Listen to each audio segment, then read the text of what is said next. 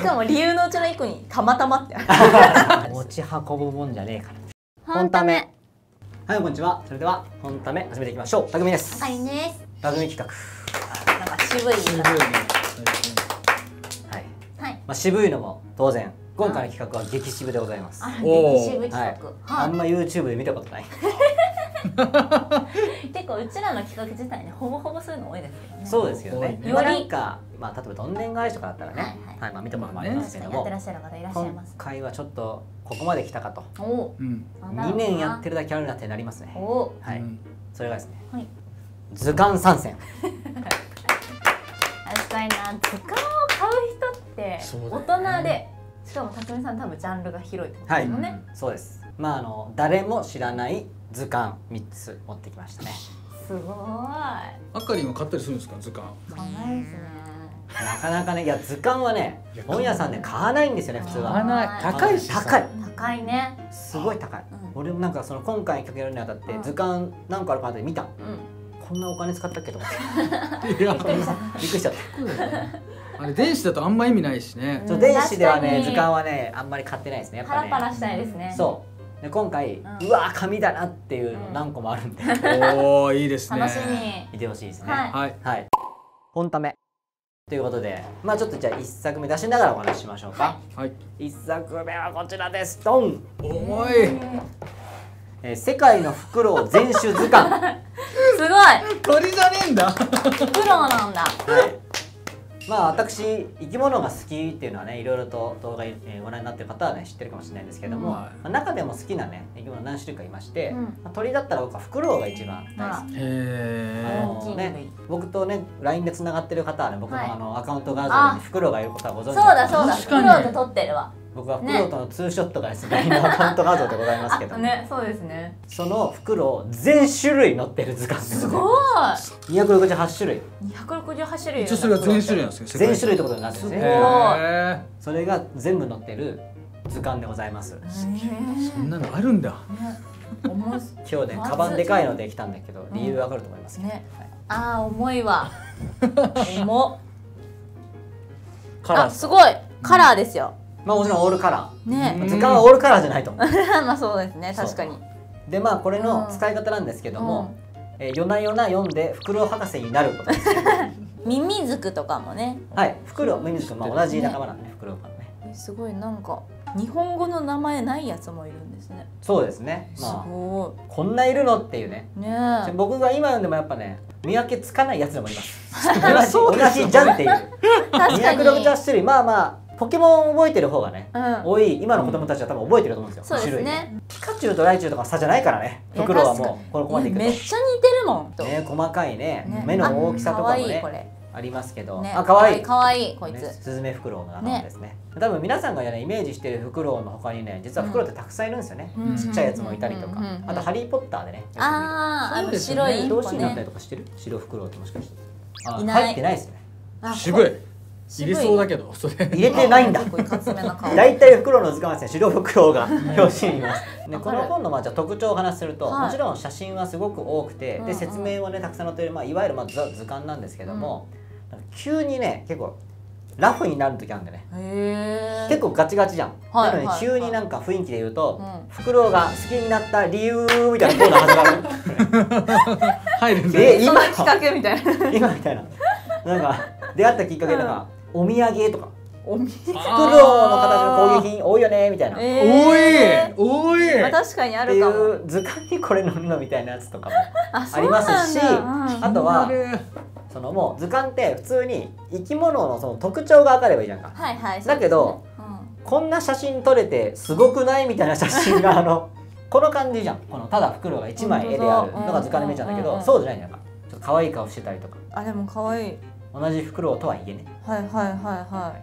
あすごい。マングース捉えたところで写真とか。すごいですよ。マングスル強いんだ。もう猛禽類は自分より上いないですから。フフクロウは最強ですよ。食物連鎖のへ今あんまイメージないけどね。うん食物連鎖の頂点すごいなんかフクロウが食べ残したものの骨を並べた写真とか載ってる。図鑑ですから。なんなんそれ。マニアックですね。ねえ、ええ面白い。いやとてもね勉強にもなりますし、うんうんうん。まあさっき言ったミミズクとね、うんなんかフクロウの違いというかミミズクってなんかちょっとこのねうんうん角がなんかそうあるね可愛いやつねっていうのがあるんですけど、これ理由はうんまだはっきり分かってないらしいですよ。えなんであるかみたいな。あ、そうなんだ。フクロウ全体のうちまあ約半分ぐらいがあるらしいです。深く。へーそうなんだはい。それが分かってないんですねすなんかまあ全然説としてはあの素人としてはあまり納得いかないぐらいの感じにしかない。本当かよみたいなすごい。表情を作るためとかそういうなんか表情そんな分かるかなみたいな。はいはいはいはそういうのを含めて面白いし、うん単に写真だけ見せても、い。フクロウ愛が強すぎる人が図鑑作ったから、まあ。そうだよねそのもうね可愛いフクロウいっぱい出てくっちゃうんだよね。ねうん、確かに可愛い。あこれ。あ、本当だ。フクロウ愛好家についてのページがありますね。本当だ。フクロウ好きになる理由って書いてある。しかも理由のうちの一個にたまたまってある。ラフなの急にラフになる急にそんなカジュアルないやいやことある。たまたま入れ出したら全部そうじゃんそこのページに書いてある理由一個も理由じゃないからちなみに他のページはガチガチなのに、ね、だってフクロウ愛好家には社交的で行動的な人も多いから社交家がどんどん増えるって書いてある。も本当かう きっときっと思い込みかもしれない。やばい。言ってることが結構面白い。あとなんかあれじゃなかった、うん。その夜型だから好きになるとか書いてなかっあ書いてある。夜更かしが好きな人はフクロウ好きになる。た本当か？だとしたら私も夜型だからその可能性あるな。袋好きですよフクロウ好きになるかももしれない。このページだけなんかそういうラフ 面白いこれ。こういうね図鑑の楽しみ方ありますけど。こういうことです図な鑑って。るほどね本ためまあということで、まあ、はい。図鑑はね、僕はたくさん持ってるんですけども、うん。あの今まで出したことある図鑑爬虫類系のねあうーんありましたね、なのでまあ今回はそれ持ってきておりません、うんうんうんうん。はい、爬虫類は持ってると思っておいてください、そうですね。はい、ちょっと変えましょう、はい。趣向をね。こちらです。じゃん美しい人体図鑑。あ何これすごほいう。人体？人体のうん。図鑑。お花じゃないの？ねあー確かに。そう思うのか。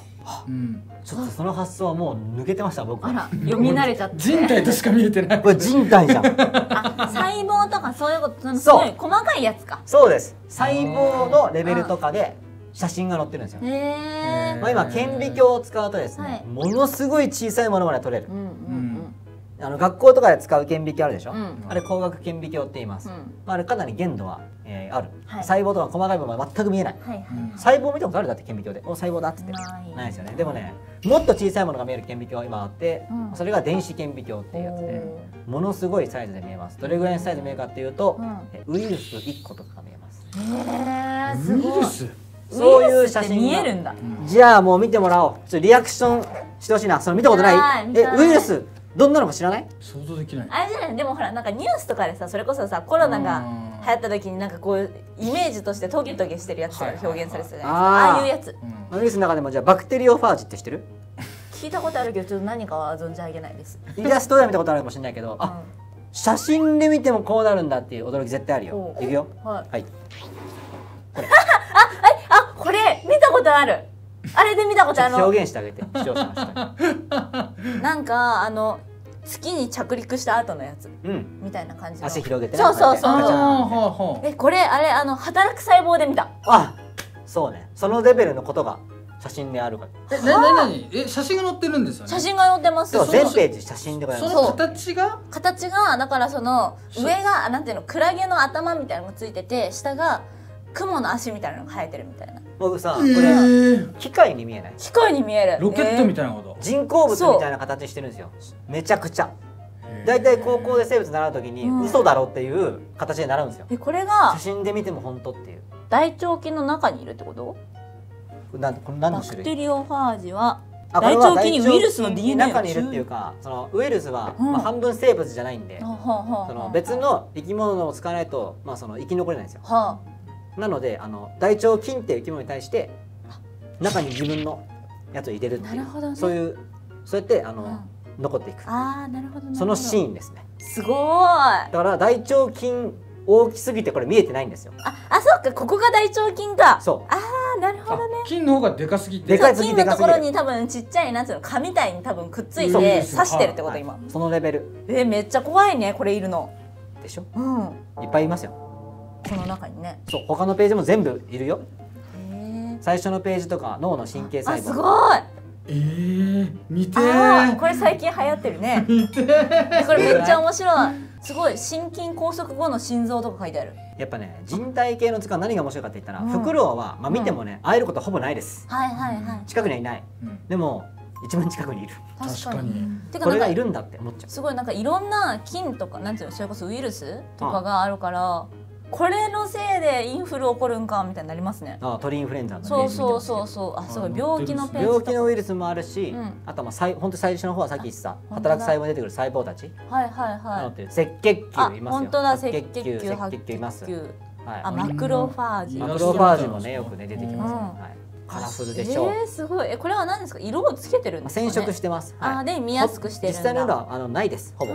透明とかそういう、はいはいはい、まはい、あ色ある意味ないんでね。うんそれに色つけてうん。写真撮ったりとか、まあ、いろんな方法あるんですけど写真撮るのは、それでそれをまあ超拡大で載せてくれてるっていう、へえあ面白い。絵みたいでしょ？うん。そういうイラストみたい。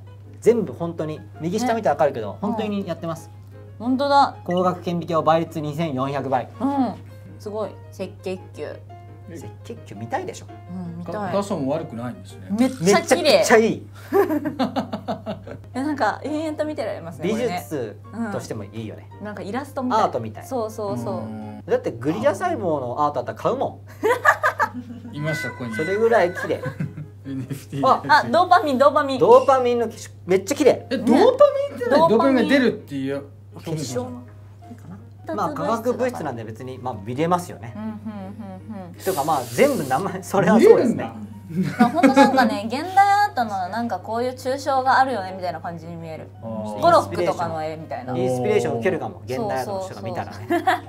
ありそうですよね。そういうなんか神経細胞をもとにアートにしましたみたいな人蜷川美香さんの写真に見えてきました。あでもそう色がねバキバキだから。ちょっと近いかもね。確かにそうかもしれない。稲川美香さん人体を描いてた可能性あります。すごいセロトニンだって。なんかものによってなんか違うアーティストの描いた絵みたいな感じがする。うん撮り方がね写真の撮り方もいろいろあるんでね。見え方が全く変わってくる。ってえこれ面白い。これなんかもうちょいちゃんと見たい。出た。これランゲルハンスと これなんかさ本ためのさ生配信で言ってる人いました。あのなんかどこから見てますみたいなやつで、うん。ランゲルハンス島って言ってる人がいて。それ匠さんがちょっと笑って拾るってたやつ。定番のボケだから。え島がある。そこの定番なの人体に島があるっていうね定番のボケですから、これ楽しい。えこれあかりももうちょい読みたいもん夢中になっちゃってます。ねねえめっちゃ楽しいこれ。この休日のヘアデートみたいな絵になってる。これこれ見るんだ。人体図鑑ペアデートで。すごいね。ね人体図鑑152点の写真が。152点。すごい。激重もこれもまた。ポケモンと同じぐらい。初代のポケモンと同じぐらい。確かにやっぱな写真を楽しめるもんですよね図鑑ってね。そう。本ためここまでうん。カバンが重かったのはこいつらのせいでございます。いや重いでしょこれは。うん。はい。一冊でも十分に重かったです。持ち運ぶもんじゃねえから。そうですね。お家で見るものですね。持ち運ぶもの持ってきました。あら、はい。ありがとうございます、ちっちゃくてもあります面白いの。じゃじゃーん。鉱物図鑑。え鉱物までえ。動物まで幅広いなたくさん、ね僕はね収集癖はないんですよね、うん。鉱物集めてる人もいます。あその気持ちもわかる。一個一個はね全く同じものは全然ないから、うん。でなんで鉱物ちょっと見てみようかなと思ったかというとドクターストーンの影響ですね。あードクタースちトーン、ね、ゃんと影響を受けてるね。確かに名前とかね。ドクターストーンで影響を受けて石好きになった人めちゃくちゃいます。そうなんだ。むしろ今のちょっと石のブームはドクターストーンのおかげだと思う。い今石のブーム来てる、石のブーム来てます。あそうなんですね。結構あの北海道石とかね。もう展示やってますもんだって。石今回なんか鉱物みたいな感じでよくでかいデパートとかでもね。あそうなんだ。渋いな。渋。ドクターストーンを読めば鉱物がいかに重要かわかる。あその、まあ、例えば原始生活をしてるわけですよね、はい。ドクターストーンってうん。何もない状況からもう一回その科学のね文化作っていくってやつなんですけど必要な物質どこから集めてるかというとどれも鉱物ですよ。確かに確かに、はいそうだったそうだった。地中でもう何年も何年もね時間をかけてできたものたちを使っていろんなことをしていくんですねドクターストーンって、うん。石がすごくね重要なキーワードなんですけどもまあそんな鉱物どんなのがあるんだよと、まあ、有名なのは皆さん知ってると思いますよ。はダイヤモンドとか、そうですね。宝石ですよね、うん。はい、うん。他にもどんなものがあるかっていうのがたくさん書かれててあとはその金とか銅とかもほもちろん石から取れますから、はい、我々がだからもう石から取れた後の綺麗なやつしか見てないだけです。うああなるほどね。ほとんどのそういう科学的なやつ、うん。この石からできてますうんね、とは？なんか知ってるのあります？日本画とかもそうですよね。あそうですね。色がねそこから作られるから。例えば130ページ見てみてください。130ページ、はい。そうページ数で覚えてる。何これ？映画監督みたいな名前の石でしょ。駆動観覧船 確かにねちょっとね。うん。駆動観さんみたいな感じがしますね。そういっぱいありますか石は。もう知らないやつも。えでもなんかさちっちゃい頃とかなんか石拾ってた記憶あるうん。集めるよね。そうなんか多分あのこうキラキラして軽いうん。黒い石があって、何の石か知らないけど、うん。そういうのね集めてた記憶ある、この鉱物を集めるのはハードル低いと思うんですよ。自分で取りに行くのはハードル高い。でも今はめちゃくちゃ売られてるから。確かにね。売られてるんですね。売られてますよ。探してみてください鉱物売ってるお店。たくさんあります。うんありますよね。エメラルドとかね。ああれ紀ノ国屋の地下で売ってません？あ売ってる。のね。うん。紀ノ国屋の地下にそういう地コー下ナーある。高そうあの1階高のところにありますよね、うん。確かに。やたら高いですよね。いやでもやっぱい。いやつなんでしょうねああいうのってね。だってこれ うんここ大きく結晶に成長するまで何年かけてるのが正しいですからね。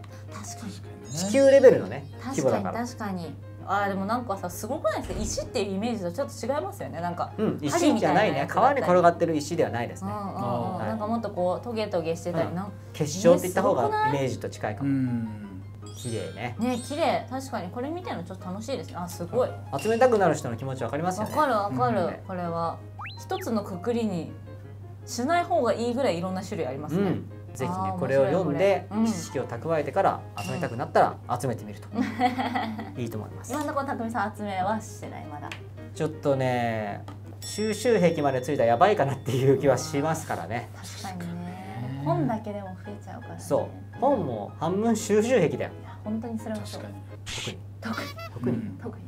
もうほとんど我々は収集癖みたいなもんですから。そうですね、うん自制しましょ お部屋の床が抜けないように。うはいお部屋に余裕がある方はぜひ石集め そんなスペースいらないもんね。本棚なら一角とかではいはいいいんで確かにね。はい、というわけで、はい。今回はマニアックな、はい。誰も知らない図鑑3冊紹介させていただきました。面白かった。本ためまあというわけで、まあ、これからもねどんどんマニアックな企画やってほしいよという方はぜひチャンネル登録高評価コメントで応援よろしくお願いしおます。願いします。そして、えー公式アカウントの Twitter ございますのでフォローよろしくお願いしお願いますします。今回紹介した図鑑概要欄の方にリンクありますのでぜひ気になった方はそちらから見てみてくだおさい。願いします、はい、というわけで次回またお会いしましょう。さよなら。バイバイ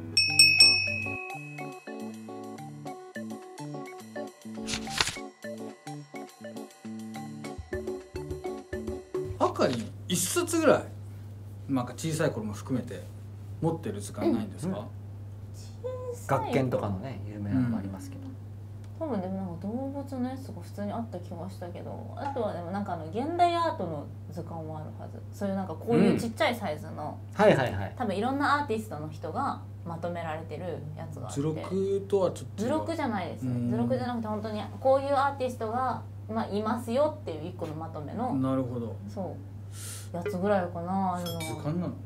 一応なんかでもタイトル図鑑っぽかった感じはしたんですけど。なるほど。それぐらいかな。図買わないですね。買わないですね本当に。ないの？なんかそれこそこういうのしかない。これはねほら八重洲さんで一回買わせてもらったやつ。図鑑じゃないか図これは鑑でないな。まあ一応。そう、ん。そうか。そうなんですよ。じゃああかり次はちょっと図鑑に手出してみてはいかがでしょうか ちょっと筋力がないから買って持ってないのがまず大変かも。しれないそういう方はぜひアマゾンのリンクから はい図鑑はアマゾンがいいかもしれないです確かに